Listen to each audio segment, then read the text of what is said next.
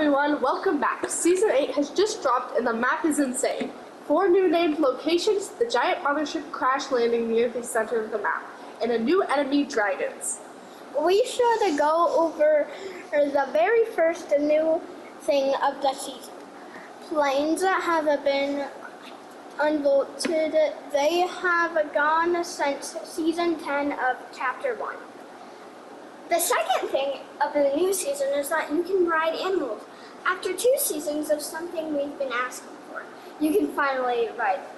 The third thing of the season before we get to leaks for the future is the fact that season 8 is four weeks long and lasts till October 2nd, 2022. We will go over leaks now, and the thing is, uh, we were expecting servers, sewers to to come out at the start of the of the season, but no, they. Uh, but no, they, according to to leaks, we will come out during the third week of the season.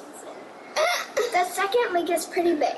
There's a new top type of grenade coming out halfway through the season called Steelbone Grenade. The third and final main leak of the season is to do with season event. The event codenamed Boom Boom is on the 1st of October.